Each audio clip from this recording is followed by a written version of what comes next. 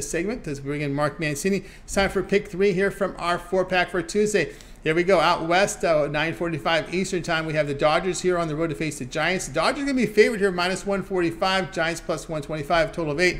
The pitching matchups here in this one, as uh, we take a look here, uh, it looks like it'll be Tyler Anderson, the lefty here, going against Alex Wood, the lefty here for San Francisco.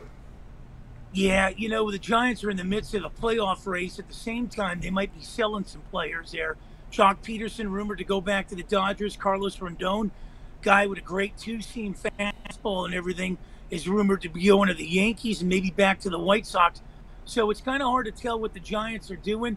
I think to get back in this race and solidify, uh, you know, themselves in the playoff position, they're going to need at least to take three out of four in this series. But I like the Dodgers in this one.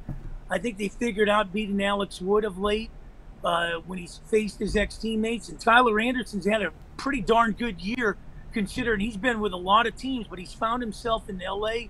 And I think that's going to continue to trade. The run line I like is this as well.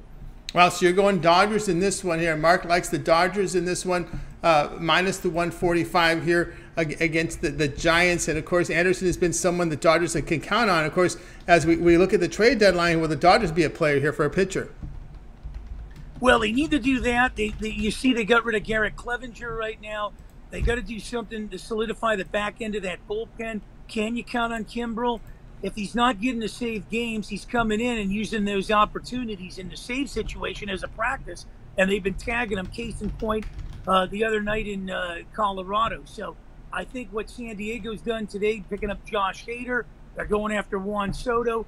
The Padres will concede the division and try to take the Dodgers out in the playoffs. That's uh, right. Mark here on the here. Mark here on the Dodgers minus 145 against the Giants. Uh, this one uh, will have a start time here of 9.45 Eastern Time. All right, let's continue on here with our guest pick segment joined by Mark Mancini. Follow him on Twitter. Mancini Sports is where you find him. Also all over XM Radio, doing a lot of radio shows there. One of those guys who chimes in and does does the um, guest reporting and, and uh, gives analysis there on a lot of shows. All right, let's continue on here on